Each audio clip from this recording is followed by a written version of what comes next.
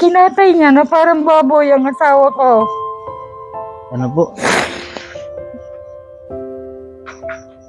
Kahit sinong matinong tao, hindi magagawa ang ganun. Nung puna, sinaksak pa niya. Yun ang hindi ko matanggap. Wala namang ginagawa ang asawa kong puruwisin sa kanila.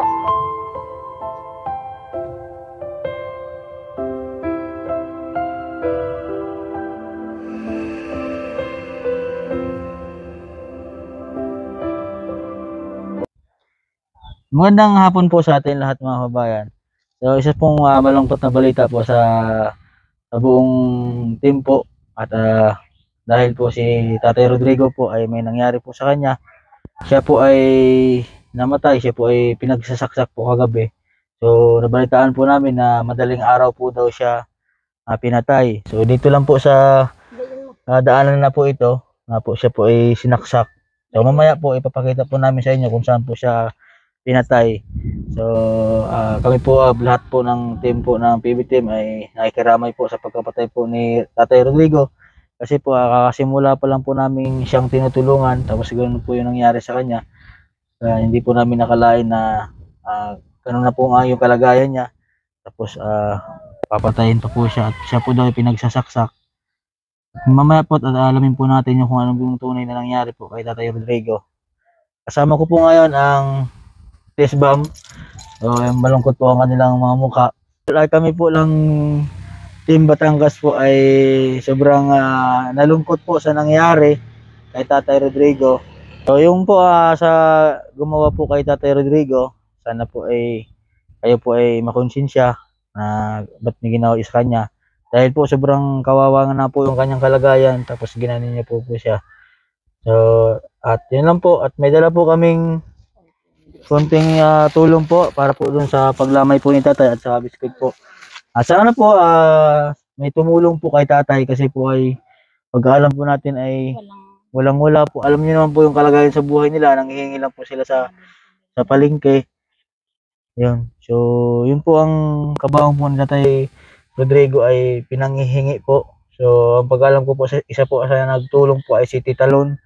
Nag-message din po sa akin po kasi si Tita Lon kanina. Maraming maraming salamat po Tita Lon.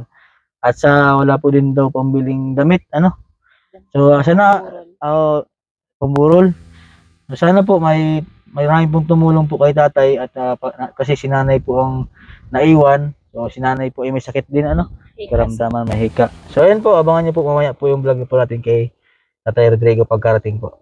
Ayun po, bumalik po kami dito po kay Tatay ah Rodrigo. Gawa po ng kahapon po ng hapon ay nandito po kami. At ah, wala pa po siya, wala pa yung bangkay niya. So ngayong umaga po, bumalik po kasi nandito na po daw. At ah, para malaman po natin kung ano po yung tunay po nangyari kay tatay. So may dala po kami kahapong mga para dun sa paglamay ano, yung mga pagkain, tinapay, kape, mga ano pa po. So iniwan na po namin kasi bawal pong ibalik yun. Sabi ano, bawal po ibalik. So iniwan na po namin dun sa kanya pong ah, kamag-anak po ni nanay. At tara po, punta po tayo dun sa ano. Sana po ay itumulong po kay tatay kasi po si nanay po ay ano ah may sakit po. Nanghihingi lang po kasi si tatay ng ah, para pambili po ng gamot ni nanay. So dito po tayo. Lakad po tayo dito sa loob. Sobrang lapit po ng ano nung pangyayari po doon. Kasi dito lang po yung kantuhan. Doon lang po nangyari sa may bandang unahan po yung ano ni tatay. Kung saan po siya pinatay. Ah, dito. Ngayong umaga po. Ito po. Ah, po. Dito na po yung bangkay po ni tatay.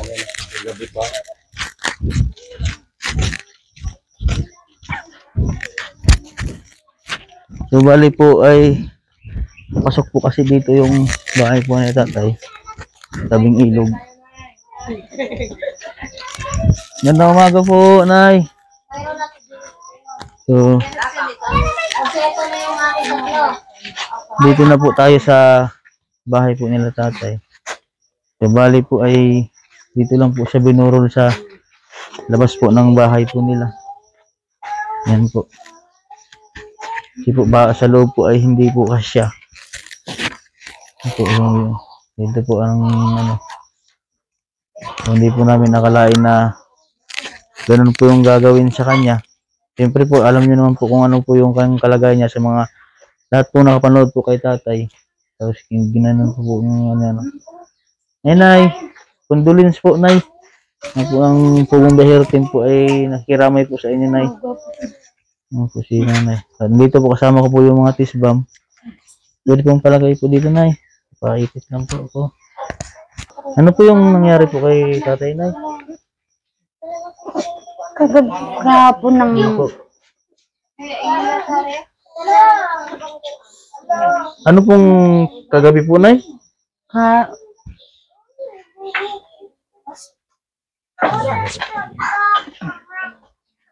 Si nanay na, sigmura si nanay.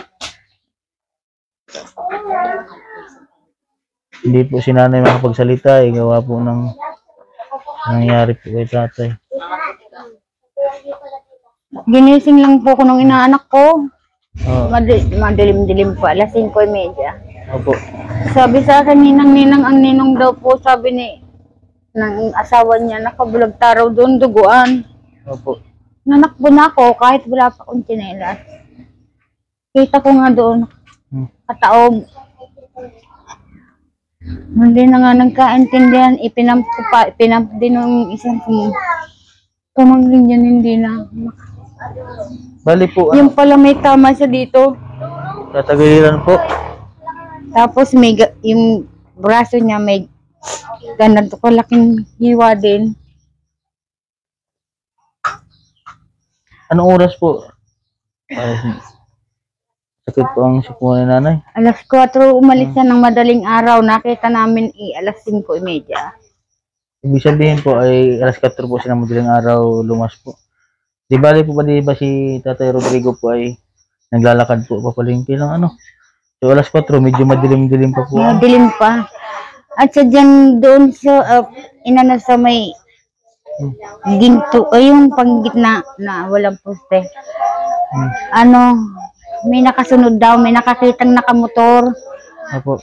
Nakani yung dilaw galing sa dini sa Santiago, pakalaka daw siya. Nakita Opo. daw niya yung mamay niya na naglalakad may kasunod na lalaki. Akala daw naman niya ay kasama. Ay pagbalik niya, nakita na nga rin niya nakabulagtadong pinagkakaguluhan namin. Ang sabi ng nakamotor, kita ko pa ikayan si kuyang ayan dyan kanina ay may kasunod. Akala ko naman ay kasama niya. Mm.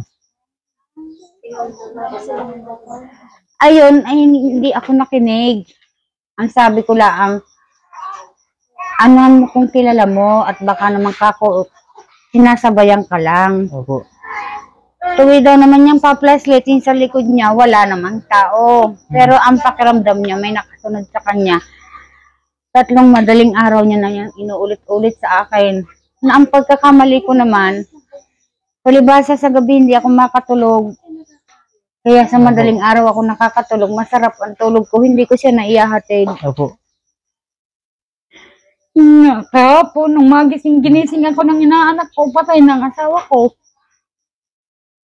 Wala po kayong ano, kung sino po ang gumawa kay tatay niya? Wala pa, pero may ballistic report na po.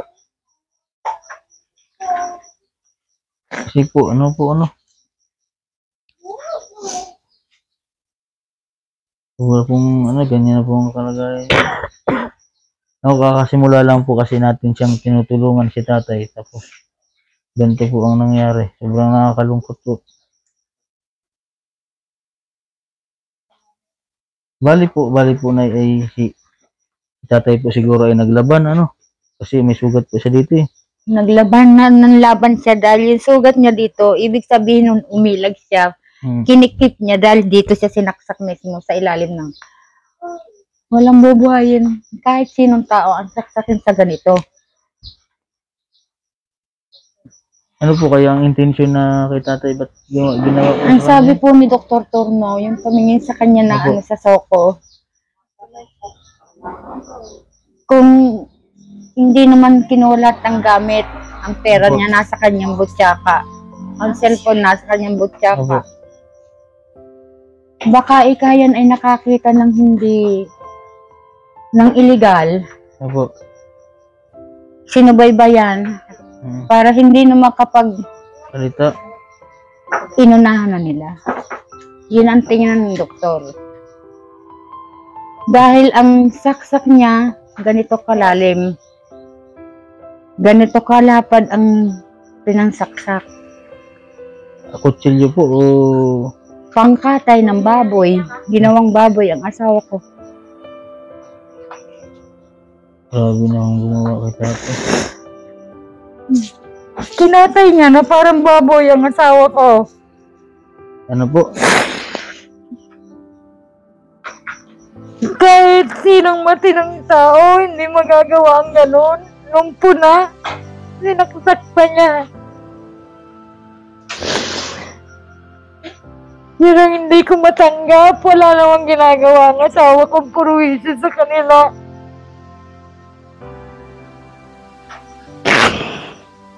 Sana,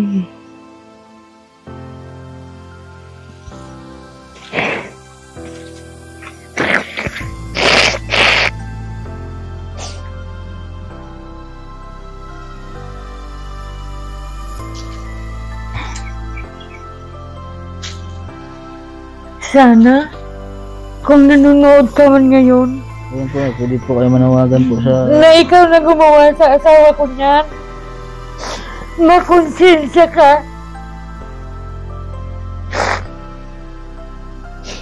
Alam mo ba ang natutulungan ng asawa ko mga bata, ang mga apo namin dito kung ilan?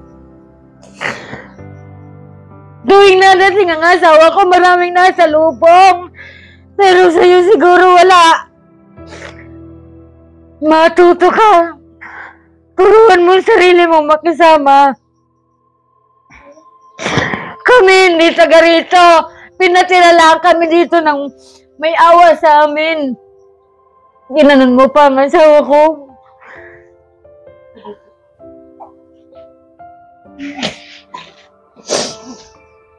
Konsensya ka sana. Sana masarap ang tulog mo gabi-gabi.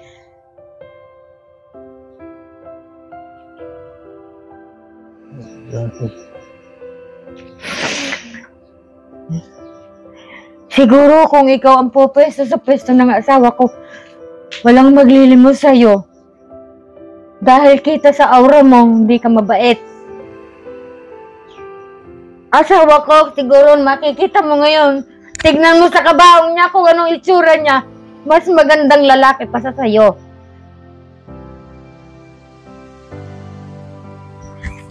Mabantay ka na rin sana. Ah.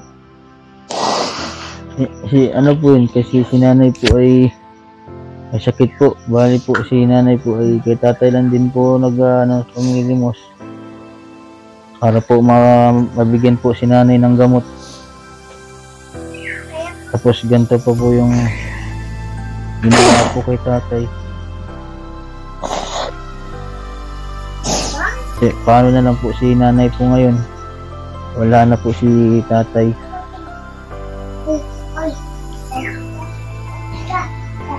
Ayan pa po yung gamot na binili po ni Madam Yula. Sa nanay. Yan po yung maintenance ni nanay. Ha? Konti na lang po yung gamot niya, Nay. Sige po. Ay, sa mga nais pong tumulong po kay nanay po, Tatay Rodrigo po. Hmm. May tablet. Nag-ubos na rin po yung tablet niya, Nay. Hindi pa yung tablet ko. Yung ano lang po, ano. Kumain na po ba kayo? Sarap pagkain si nanay.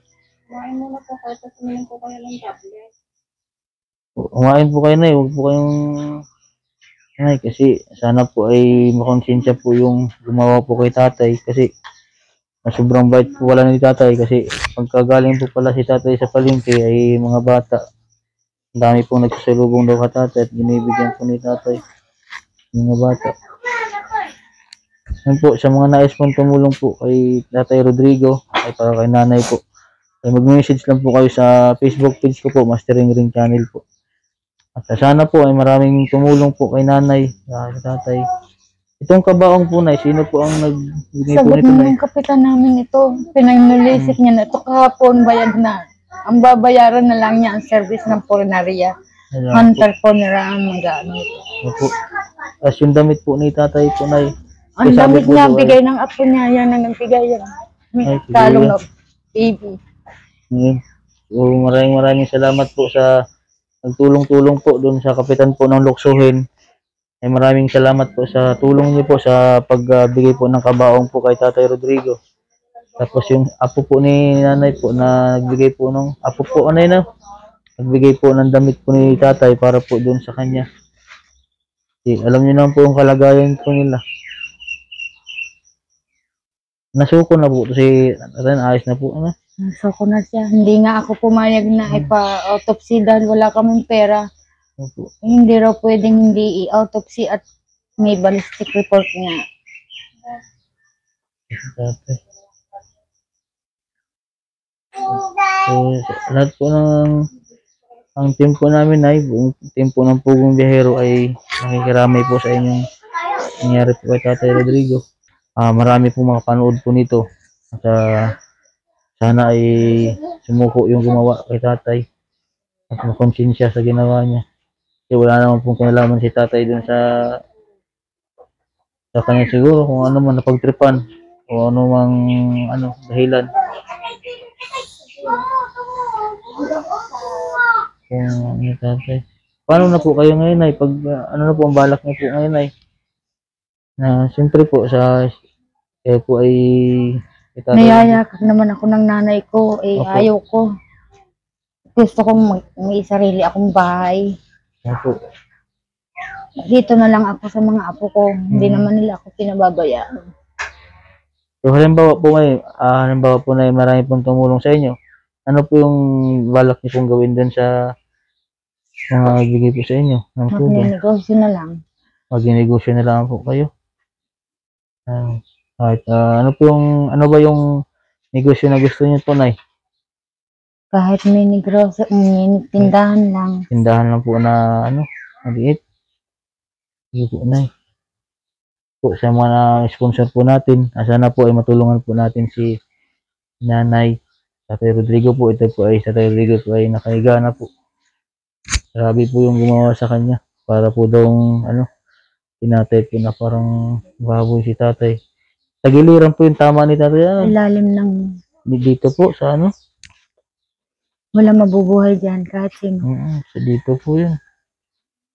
Yung si Kibo. So yun po mga kababayan. So, hindi na po natin nisturbahin po si nanay. Eh, kumain po kayo na ha. Tawag po niyo pong pabayaan yung sarili niyo. Ano po, andito po kami ng team. Nga kami po ay kabalik-balikan po namin kayo para mabigyan po ng tulong. Ano? Yun po mga kababayan. na Sana po ay may marami pong bigyan ng tulong para po kay nanay sa Tay Rodrigo. Magandang umaga po sa atin lahat. Maraming maraming salamat din po sa Fishbam na kasama ko po. Yan, subscribe niyo po yung YouTube channel po nila. Po. Sila po yung kasama-sama natin dito sa pagtulong. God bless po. Magandang umaga po sa atin lahat. So po mga kawan, dito po tatay po pinatay. So yun po yung gamit niya, yung tungkod niya po at saka yung sinilas niya po. So dito po yung kanyang sombrero. So ah, bali po nilagyan po ng ah, putik para po matakpan po kanyang mga dugo. Dito po pinagsasaksak po si tatay sa lugar na po ito, si tatay Rodrigo po. Yun po ang kanyang ano, ibang kawa naman si tatay. eh. Sombrero. Oo. Ito po ang kanyang ano. Ito may mga dito siguro siya kinurner ano. Yan oh. Baka isa lang din nagdali yun. Ha? Baka isang tao lang din nagdali. Ang ano niya eh. Yan oh. Putol ang tungko. Dahil Putol nga ang tungkod ano, parang ano? Parang kutsilyo oh. Huhulok. Ah, putol ano? Istawil niya oh. Ang tawag niya, andyan din oh. Mga bandang, anong oras daw to? Mga bandang ano? Alas, madaling araw. Madaling araw? Alas dos daw siya ng ano na alis. Mga alas 2 sa madaling araw? Nangyari? Alas 4 na yata nakita noong Oo. ano, ano, pamangking. Di ba papasok ng trabaho? So, yun po. Sabi kayo.